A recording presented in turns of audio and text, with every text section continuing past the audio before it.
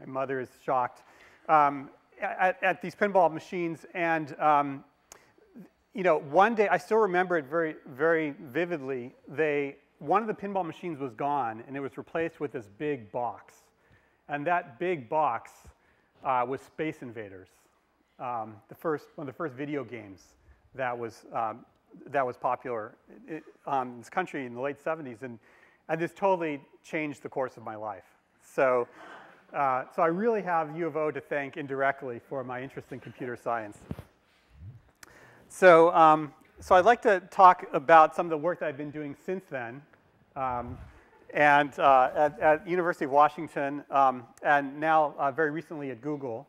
Uh, and so basically the, the thing that, that I'm working on with um, my collaborators and students and postdocs and so forth is trying to take all the images online and do something interesting with them. So what does that mean? Well, first of all, how many photos are there in the world? Any guesses the right order of magnitude? 10 to the 11. 10 to the 11? Close. Yeah. Well, let's look at some statistics. So there are 3 billion photos uploaded to Facebook every month, which is pretty astounding you think about it. Um, so if you do some statistics based on this, you know, so, you know, you probably don't, even if you use Facebook, which many of you probably do not, uh, you probably only upload a small proportion of the photos that you take. Um, and so if, if, you, if 20 photos are taken for every one uploaded to Facebook, this basically means a trillion photos uploaded, a trillion photos taken every year, okay? So there are a lot of photos out there, um, and this, this pace is accelerating. Um, and we're not even talking about video. This is just still photos. Okay, so huge numbers of photos. So the question is, what do you do with a trillion photos? What are we doing with a trillion photos? And, you know, it's sort of embarrassing. We're doing almost nothing with them, or at least I am. I mean, most of the photos that I take sit on my hard drive, and I almost never look at them. Maybe I, I upload a few, um, and maybe if I'm lucky, one person will comment on them. And so, you know, the, these photos are basically just sitting there, um, very seldomly used. So the question is, I mean, there's a huge amount of information and interesting content. There's a reason why we all take these photos. Presumably, we want to do something with them. Uh, so we really need better tools for, for managing these photos. And that's really what, what this research is all about. So we started a, project um, about um, four years ago, five years ago now, called phototourism. And probably the best way to sort of give you a sense of this is just play, play this video. Um, then I'll talk about, I'll talk about it afterwards, more of the late, more recent work that we've been doing. So this is narrated by my former graduate student, Noah Snavely, who's now at Cornell. There should be sounds. There was a second ago. Is there a way to turn on the sounds in the control room? Anyone there? okay, let's, let's try this again. Um, um, yeah, the sound no longer works on the, I don't know if, you if there's something you could change.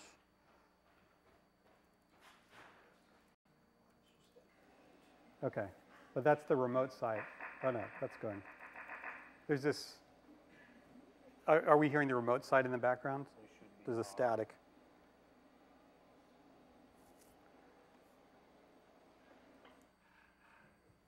Okay, good, thanks. Perfect. Here's that video. Searching for a particular image of a well-photographed object using conventional tools often results in a large number of images that are not ordered in an intuitive way. Finding the exact picture you want can mean browsing through page after page of thumbnails. How can we organize such large photo collections in a more intuitive way? In this project, we present a novel system for registering large sets of photos and exploring them in a 3D browser. Our system discovers the relative positions of the cameras used to take each photograph, situates the photos in 3D space, and provides intuitive controls for exploring the scene and finding interesting photographs. Our system takes a collection of photos of the same scene as input. We first find key points in each of the input images, then match key points between each pair of images. Next, we run an iterative bundle adjustment procedure to estimate the parameters of each camera and the positions of the observed 3D points. Once the photos have been registered, they can be browsed using our photo exploration interface. Our system provides standard controls for moving around a 3D scene. In addition, when the user selects a photograph, the virtual camera is smoothly brought into alignment with that photo. Information about the photograph appears in the information pane on the left. Our system provides several intuitive ways to select new photos. One is to select an object. The user can highlight a region of the current photo, and the system automatically finds a good photo of the selection and smoothly moves the virtual camera to the new photo. During transitions, we use a simple plane-based morph to provide context as the camera moves. A thumbnail pane along the bottom of the screen shows other photos of the selected object. When the user moves the mouse over a thumbnail, that photo is displayed in the main view, projected onto a planar approximation to the selected object. Here, the user selects a thumbnail to see a different view of the statue. We also provide tools for viewing the scene at different scales. The user can step back from the scene with the Zoom Out tool. This finds photos that display a larger area of the scene. The Show Me Similar Images tool finds images of the scene with scale and orientation similar to that of the current photo. The Zoom In button finds details, showing the user what parts of the scene can be viewed at a higher resolution. Here the user selects a photo of the bas-relief in the upper left, and the browser zooms into the more detailed photo. Our second example uses a set of photos taken by one person over the course of two days. We registered the photographs and reconstructed line segments as well as points. We can align the reconstructed model with the satellite image to situate it in a georeferenced coordinate system. We render the scene using the reconstructed line segments. We also project blurred, partially transparent versions of the photos onto the scene to convey more information with a non-photorealistic look. An overhead map is displayed in the upper right. The user can select a photo using the map. Here the user selects a building to see a photograph of it. For this dataset, we can also move left and right along a row of building facades. We provide geometric controls for this type of interaction. For each photograph, we pre-compute a left and right neighbor based on the projected motion of the points observed by the images. We also pre-compute a step-back image, so the user can quickly view more of the scene.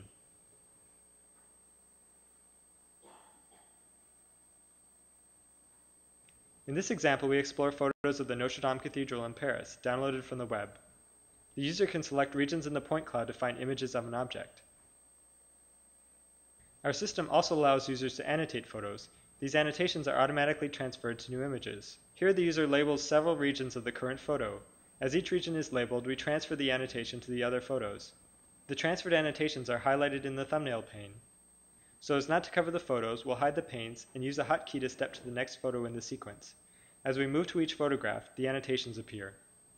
Our system uses simple heuristics to determine if an annotated region is occluded, as in this example where one region is hidden.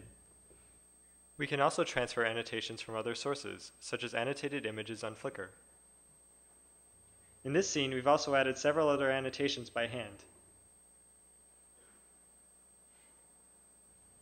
Our annotation transfer algorithm is sensitive to scale. If we look at photographs taken at different scales, we see different annotations.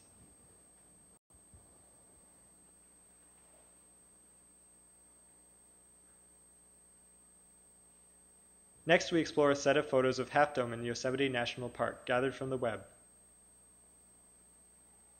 If the user finds a viewpoint they like, our system makes it easy to find images taken from a similar viewpoint. By selecting the Lock the Camera option, we can generate a slideshow where an object remains fixed in the view.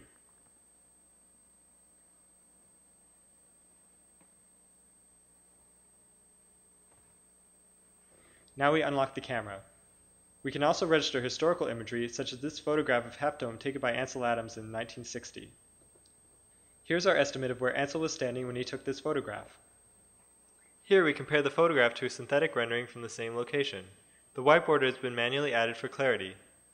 All right, so um, the main reason to show this video is to kind of bring you up to speed pretty quickly, about five minutes with sort of the, the general research area that we've been working on, which is visualizing large collections of photos. so this was, again, this about four or five years ago we started this, and I wanted to focus on some of the more recent work that we've been doing in this area. So one recent development, fairly recent, is um, this is now commercialized. Uh, so Microsoft licensed this uh, technology. In fact, it was co-developed with a, um, a, researcher, Rick Szeliski, who's at Microsoft, at Microsoft Research, Uh, and, and this is the basis of, of what's known as photosynth. This is um, something which you can try out yourself. So if you go to photosynth.net, if you take a lot of photos of something and you, and you upload them, it will try to stitch them together and produce an experience very much like what you just described, where you can interactively move around like a 3D panorama through this space of imagery. Or you can look at, you know, for practically any place in the world, a, photo, a collection that someone else has already uploaded. So you can share collections this way. So this is pretty cool, and I, I encourage you to check it out. Um, so I did want to say, uh, so one interesting anecdote. Um, it turns out, so photosynth has some interesting uses. So recently, um, it was actually used uh, to solve a murder mystery. Um, this is sort of a sad story, but there is, um, there is a murder at a high school prom, and, uh, and everyone was taking photos. You know, there, there are a zillion people taking photos around that time with their cell phone cameras, basically. Um, so the police came in, they confiscated everyone's cell phones, downloaded all the pictures, and tried to reconstruct uh, the crime from, from everyone's photos using this photosynth tool. Um, so let me show you some more um, video footage about this, about this uh, event. You do photosynth? Photosynth, yes, taking a large collection of photos, analyzing the similarities, Can dim the and lights? displaying them in a reconstructed three-dimensional space. Exactly. Build me a high school gym. Okay.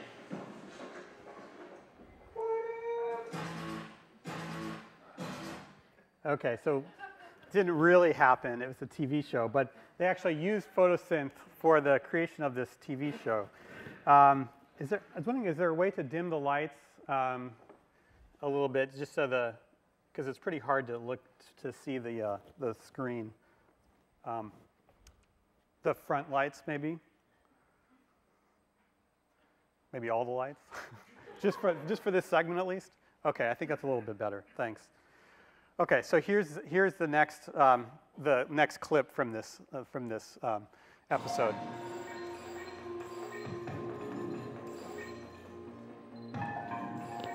So they're using the real program. It doesn't make the, these sounds though.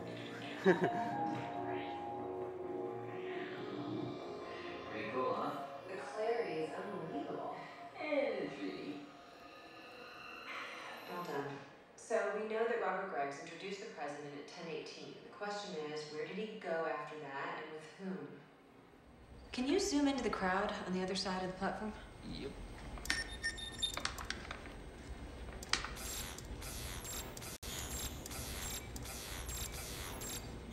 There you go, over there. Rotate it 90 degrees. Hold on, hold on. Go to the left. No, a, a little more, a little more. Go wide. A little bit more. Go in. There. Right there. Zoom in on that door. A little bit more. That's our Vic heading out the side door. Zoom in a little closer. There's someone in front of him. Oh, wait a minute. I know him. I, I- mean, I, I- I don't know his name, but hold on one second. Skull and crossbones. Yeah, I knew I'd seen that before. That's our guy. Right. So, a little bit cheesy, but um, they so they actually used photosynth the, to to create this episode, and um, and to do this, they um, so that there's a little bit of uh, liberty taken. So. The, the, they, they didn't do it with cell phone cameras. It was with high quality digital SLRs. So that, that, that's one piece. They also had um, everyone stand as still as they could. but everything else worked pretty much the, the first time. They just took all the photos of, of everyone standing around and, and just upload them into the photosynth thing, and it, it stitched them together and then produced this, this experience. And then they added the, the sound effects, which, which, you know, which wouldn't happen in the real Microsoft product. So anyway, um, so that was kind of fun. So let me, let me um, tell you about, so this talk I wanted to give you a little sense of what's kind of under the hood uh, in, without going too deep on the technical side, just give you a flavor for the techniques, the algorithms, and so forth, which, which enable this, um, at least a few of them. and then talk more about the new applications and research that we've been focusing on recently. So one of the key breakthroughs in, so basically the area that I work in primarily is called computer vision. This is the an analysis of, of images to try to understand the scene. And this is very related to computer graphics, which is trying to produce images given the scene. So in a sense, it's the inverse of computer graphics uh, because you don't know the scene, you're trying to discover it. Um, and so uh, there's, this, there's this technology um, based on feature detection, which has been um, a huge advance in terms of, of, of, enabling applications and stuff to really work well in practice. This is developed by um, uh, my colleague David Lowe at UBC uh, and, and others in the community. And basically what it is is a way to uh, identify very uh, distinctive features in the image. So each one of these boxes corresponds to some area of the image which is, which is pretty unique. So you're unlikely to find that same um, area uh, by accident in, uh, in the same image or in another image. Uh, and each box has a particular size, a particular scale that's associated with an orientation as well uh, and a position. Um, and so uh, what's neat about these is there's a way to describe the contents, the pixels inside the box in a way which is pretty invariant. To essentially come up with a signature which you can match reliably to other images uh, where that thing appears at different orientations and different scales and so forth. Uh, and, and that's incredibly powerful. So let me just give you a flavor of, of how this works. So here's, a, here's uh, an, an image, and I'm just showing you a region in that image. And I'm going to try to come up with a signature for this, um, for this region. And the way it works is uh, I'm just first going to blow it up um, and then define a grid over it. And you'll notice through, through different parts of this grid, there are edges. There are lines of different orientations. And so what we're going to try to do is try to find the orientation of the dominant edge through every one of those grid cells. Okay? So, for example, this one looks like it's vertical. Um, this one looks like it's horizontal. And you know, these are cases where there's really clear, well-defined edges in the image. In other places, there may be edges of multiple orientations. It's a little bit ambiguous, but you can kind of come up with a consensus edge. Uh, and in some areas, it's not clear at all that there's an edge, but you can, you can come up with a very weak edge, at least, by looking at the gradients of the image. And so you do this for every, for every one of these cells. Um, and the next step is, so on the left, you're seeing uh, for every one of these cells, this is the dominant edge orientation. And then what we're going to do is we're going to create a histogram of these things. So this, is a, th this just plots the counts for every edge orientation uh, how many edges there are at that orientation, how many green cells. So you'll notice that there's a peak around zero because there's more um, edges pointing roughly to the right than in any other direction for this particular patch of the image. So there's a peak uh, around zero, which corresponds to a right pointing in this case. Uh, okay, so this is, this is the idea. So you're, you're really kind of getting a, uh, a measure of the different types of counts of different orientations in the image. Uh, and, and the full version of this thing that's used in practice is instead of just having one histogram, you'll actually have 16 for this patch. So you'll divide it into a four by four grid of, and then for each subgrid compute these histograms. So that's basically the idea. Uh, so they're not really, yeah, so they, they are directed because you're taking a gradient and it's going from light to dark. Yeah. So um, it's hard to show from, see from what I described, but yeah, they are directed.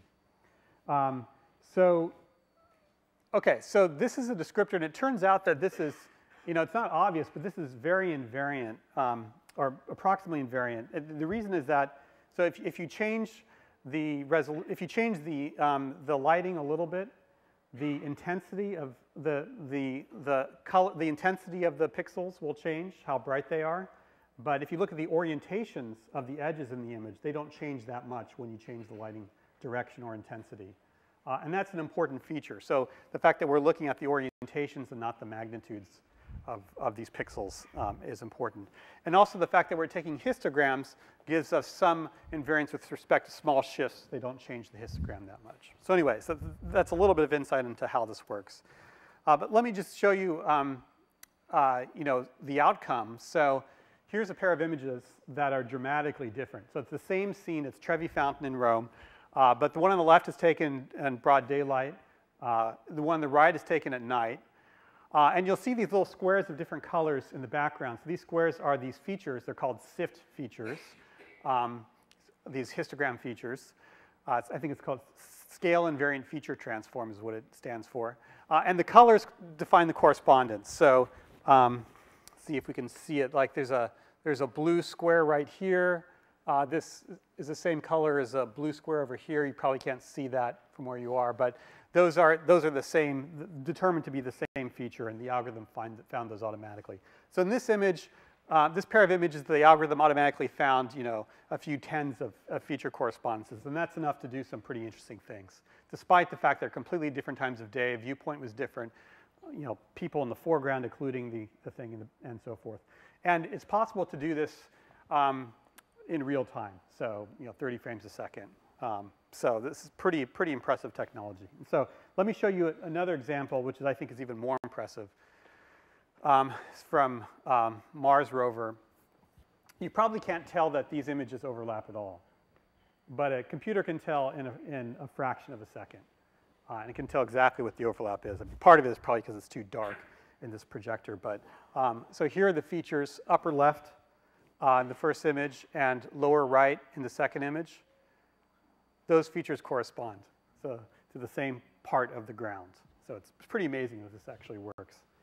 Um, so anyway, so th this, is, this is technology which is, is quite robust and uh, you, can, you can download these implementations of this algorithm called SIFT and, and so forth. And uh, it, it's really brought computer vision a lot, lo a lot further in the last few years. Um, okay, so another key piece of technology that we're using is called structure from motion. And this is the piece that um, takes photos after they're matched with a method like SIFT to find correspondences to compute the three-dimensional shape of uh, the scene, these basically the three-dimensional points in the scene as well as the camera positions.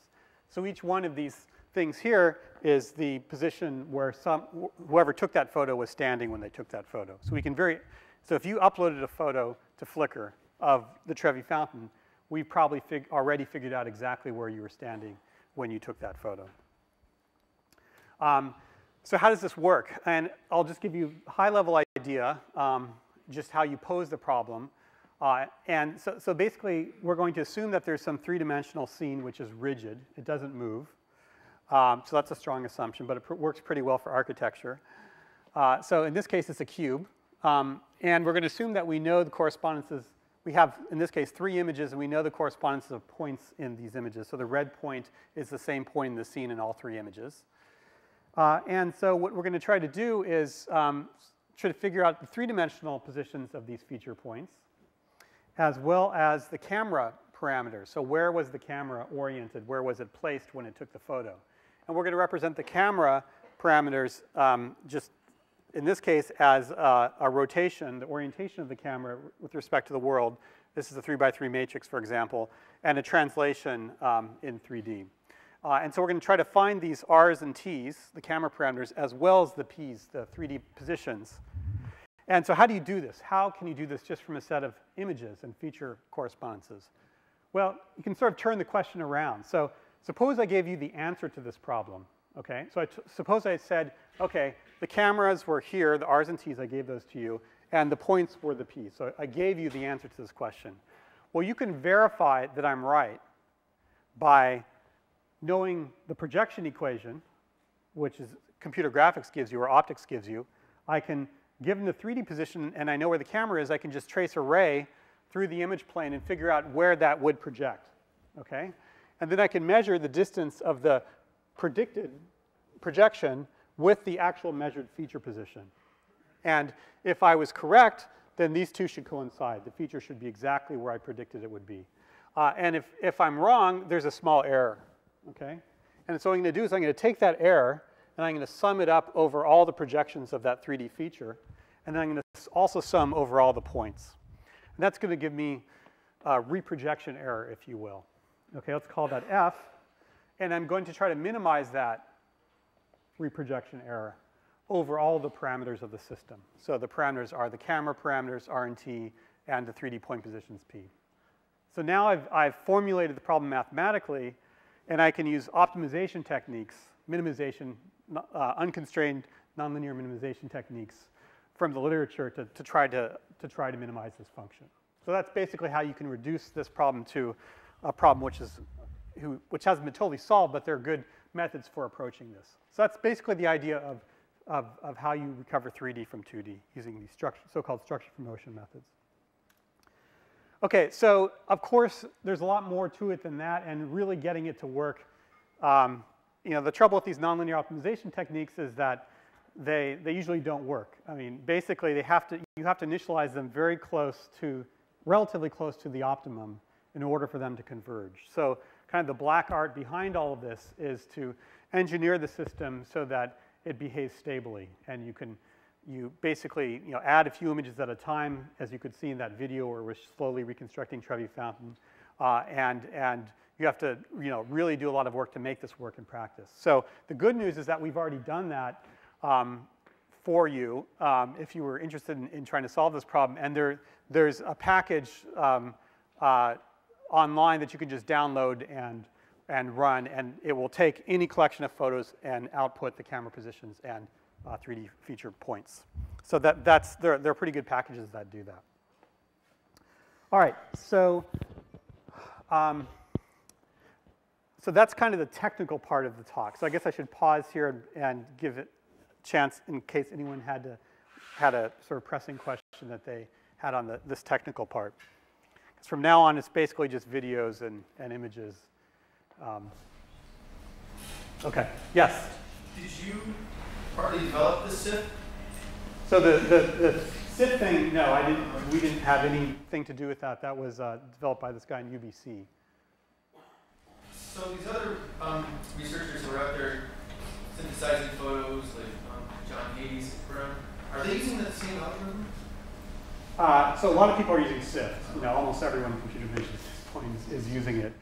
Um, but th there are a lot of all other alternatives, and they're trying to make it better. And, and there's, a, you know, it's, it's, it's only one piece of the puzzle, right? So it gives you a way to match features, but there's a lot more to computer vision than just the features. So but that was a breakthrough. That was a breakthrough. It really was a breakthrough. I mean, huge, huge breakthrough. Um, I think that paper is published in 2004, and it already has like it has 4,000 references or something like that. license free? So I don't know the full details. I, no, I think you have to, if you're going to use it commercially, you probably have to license it. Um, but there's, there's lots of implementations online for just academic use. Can you go from point clouds to polygonal models? Well, let me defer that question. I'll get to that. Good question. The map earlier also showed the vectors um, different amplitudes. How are they? You, have your arrows. Each arrow they work the same length. Right. So the yeah. So the, the the magnitudes correspond to how strong the edge is, and uh, there there is a place in SIFT for for you know you, you can take into account how strong an edge is and use basically weight that feature a little bit more if it's stronger. Yeah. All right, so let me, let me move on and I'll, I'll answer more questions at the end. Um, so let me show you some, some more recent work that we've been doing both on the um, visualization side, the computer graphics side, if you will, as well as on the, the, the computer vision, the analysis side. So here's a scenario um, which you probably have encountered before. So your friend or family member goes to Rome. They take a bunch of photos and they send them to you, okay? So basically the purpose, you know, partly at least, is to try to convey to you her experience of being in Rome. But, you know, the set of photos doesn't really do that. You can't really reproduce her experience because, for example, you don't, you don't really know how these photos relate to one another. So it turns out that these, you may not even realize that these photos are all taken in the same place. Okay, so this is the Pantheon. The one on the upper left is the outside, and the other three were taken inside. But you may not even be able to tell just from these photos. Um, and indeed, you know, the computer algorithms really can't do much more because there's almost no overlap between these photos. So we can't try to piece together a 3D model either. But um, there are a lot of other photos of the Pantheon, right? There are, there are hundreds of thousands uh, online. So we can use everyone else's photos to try to reconstruct a 3D model of the Pantheon and uh, use that to, to um, provide context for your friends' photos. And let me show you um, our, our version of what that looks like. So we're going to try to produce a slideshow between these four photos using everyone else's photos for the transitions. Okay, so we'll start at the first photo. We'll start outside. And when you click for the second photo, the algorithm is going to automatically a, plan a path into the Pantheon through the front door, turn around, and look at your friend standing in where she took the next position. Okay, so now you click on the third one, and she's in front of Raphael's tomb. Um, the fourth one, it's, it's, she's now looking up. And for these in-between photos, it's displaying just other photos it found on Flickr.com that other people took. Okay, and it's automatically piecing them together to, to create this transition.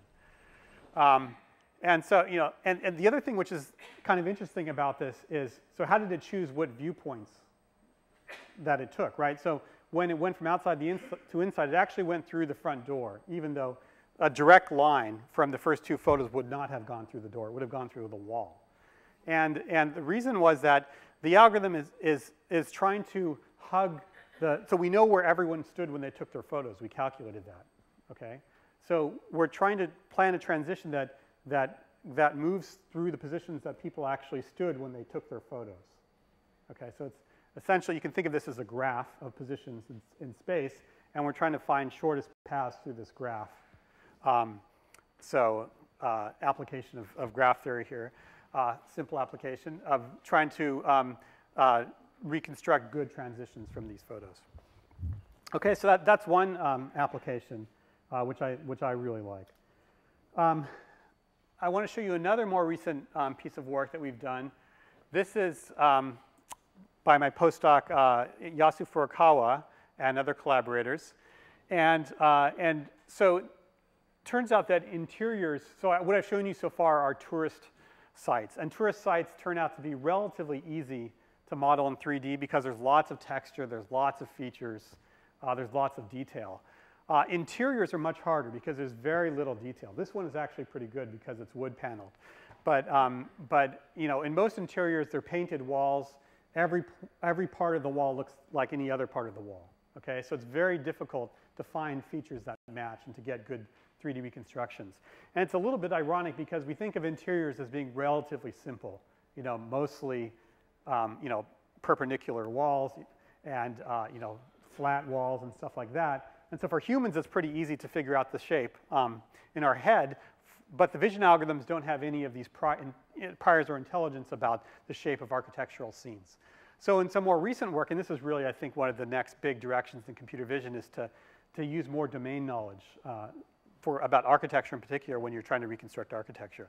So this is a, a first step in this direction. So, um, so Yasu walked through this museum on campus at the University of Washington took about 500 photos just walking around with a regular camera and reconstructed this experience. And I'll show you what this looks like. So we're going to start um, at the front, move into the front door, and you're looking through this art gallery. Um, these green points are camera positions. Sorry, it's a little bit dark. Blue lines are polygons, so it's showing you some of the geometry. So I think this, you know, you'll see these black regions in areas where we didn't have, where we had holes in the model. You'll see people appear and disappear because it's fading one image out and the next image in as you move around the scene to find the, the, the closest image to show that. It's best at reconstructing walls, so the artwork actually gets kind of torn into pieces a little bit. Um, so, uh, you know, th th these algorithms are still very much in the research phase, but, uh, but I think it, it's pretty um, promising of, of what might be possible.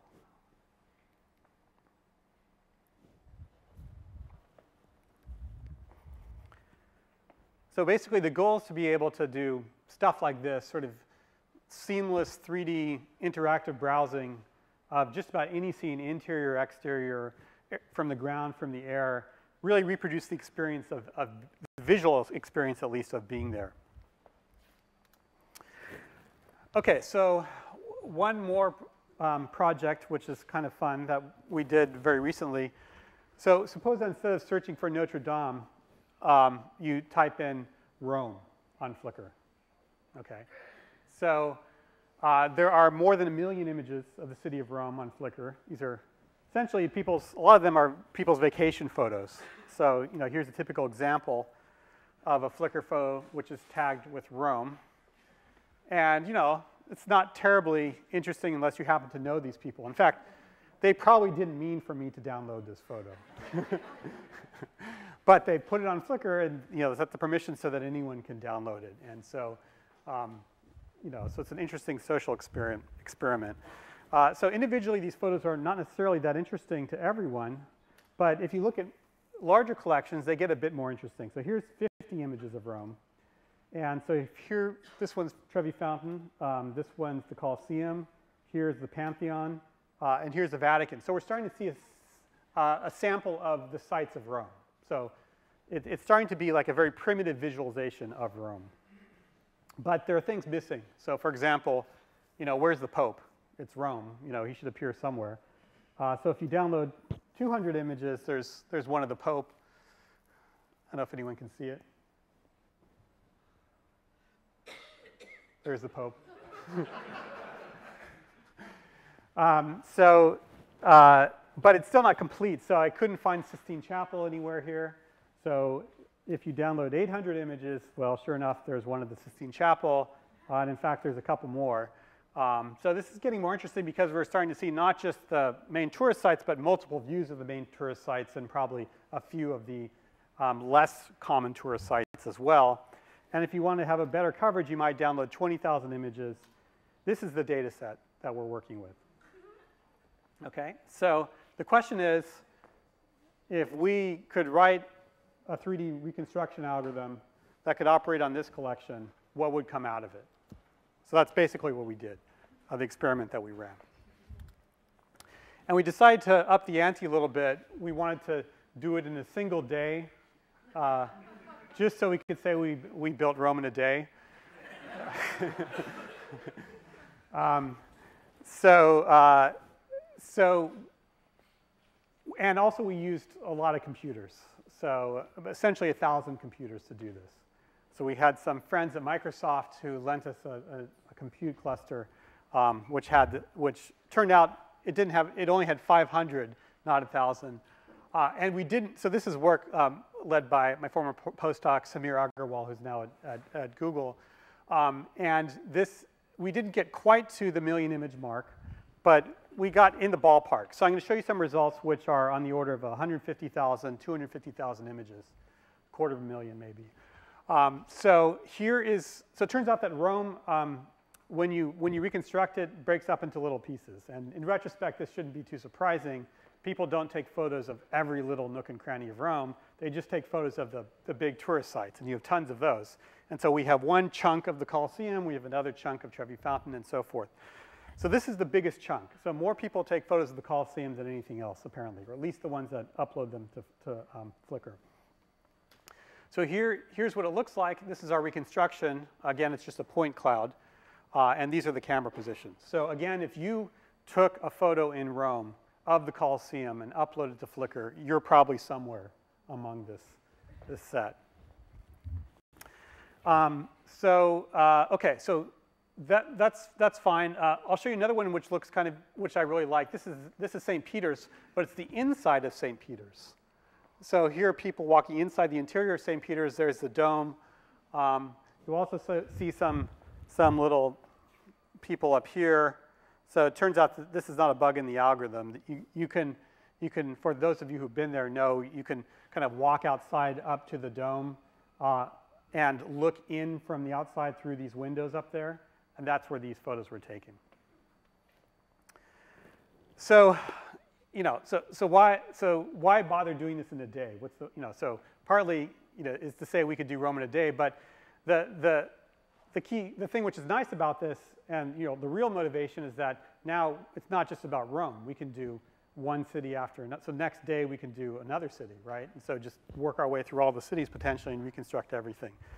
Uh, and we haven't gone to that stage yet, but we did Venice, um, and this is the largest chunk of Venice. Um, this is San Marco Plaza from, from the air, and we're going to zoom down. This is actually the largest piece of a reconstruction which we've done. You can see zillions of cameras down here.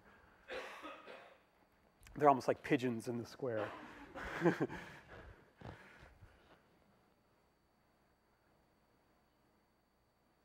so very, very large reconstruction.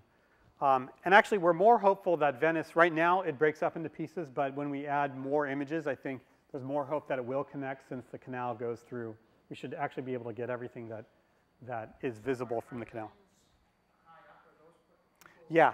So those are probably those are probably bugs. Those are probably not bugs, but errors in the algorithm. Big bugs. Um, yeah, I mean it's possible that this was taken from you know a kite or helicopter, but I, my guess is that that there are certain places where the algorithm has trouble, like if it's the the part the portion is planar, there's not enough 3D variation, we can be fairly off in terms of the distance. So we probably haven't set our thresholds for removing bad images uh, high enough. So I suspect those are, some of these are erroneous. Yes? So what we're looking at here is a point cloud where each point is one of those tiny little squares that overlaps in across at least. Yeah. So we, for, for this reconstruction, I, um, I think we, we need three. I believe we need three for three views of each point. Okay, here's another piece of Venice. Uh, this is the Grand Canal. And you can, we can sort of go by water taxi up to the bridge. This is the Rialto Bridge. And I like this one because it shows that people take photos from every conceivable point along the Rialto Bridge. so um, each one of those black squares is a photo. All right, so, okay, so again, these, you know, when you think of 3D modeling, these are pretty primitive models, right? This is just a cloud of points. Can we do better than that? So that's one of the things we've been focusing more in the last uh, couple of years. Uh, actually, before I get to that, let me show you one more city. This is a cool one, Dubrovnik. Um, turns out it's not nearly as big as Venice or, Venice or Rome. I think we only used about 60,000 photos here. But uh, the cool thing about Dubrovnik is that it's on a, it's on a hillside, and you can, you can go, you can take photos of the city from on top of the hill uh, you can also, there's, essentially a wall that goes around the city, and you can take photos from basically rooftop level uh, and also on the street. And the algorithm was able to kind of stitch all of those photos together into one big model. So this is what we'd really love to do for, for a city like Rome or Venice, but it actually worked for Dubrovnik. So I'm going to show you, uh, you know, all these images fuse. So initially here, these are essentially an aerial view of Dubrovnik, and we're going to zoom down to rooftop level and then down into the street.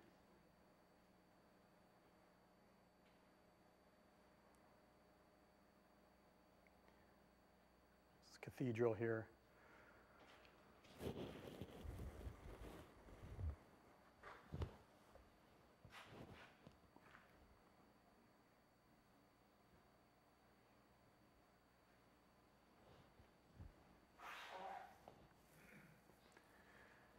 And there's some, some other stuff in the background. There's an island that I found, the mountainside.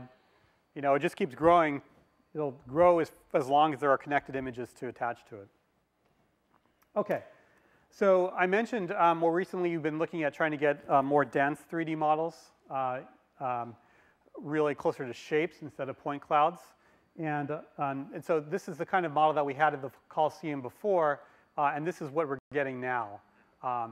So it looks more like the real thing. Uh, and this is newer work by, um, by uh, Yasu Furukawa. and I'll show you a video. Hopefully this won't be too dark to see. Um, might have to turn down the lights again to, to get this. I'll just keep it down for, for the rest of the talk till the questions. Um, okay, so here's the old reconstruction of St. Peter's. Here's the new reconstruction on the right. And so you can see the texture. There's you know, much denser geometry. I mean, there's still holes, of course, but it looks much, it looks significantly closer to the real scene capturing a lot more of the details. That's a good question. I mean, they are around the, hot, the, the windows. But um, so generally, we get holes where there's not enough texture, and the overexposure may probably contributes to that more than the, um, the, yeah, so they're basically all the same shade, so they're hard to match.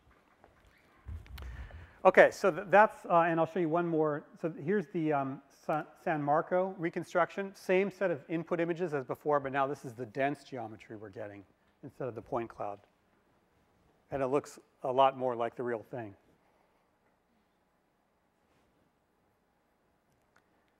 So again, this is still point cloud, but there's a lot more points. And each one is colored by its average color in all the images in which it appears.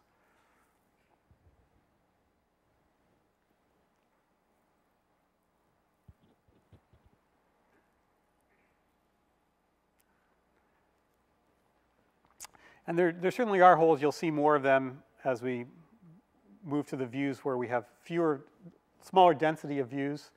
Uh, the reflective tables are not reconstructed very well. They probably change positions as well. Um, so there's definitely still work to be done. You'll notice other problems and artifacts at the borders of objects. Um,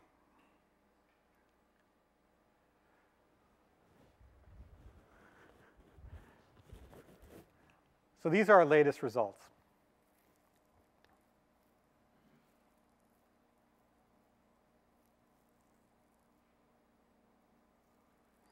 And you notice we only reconstruct the facades because there are no aerial views, but you know, once you add aerial views into the mix, you, you start getting the rooftops as well.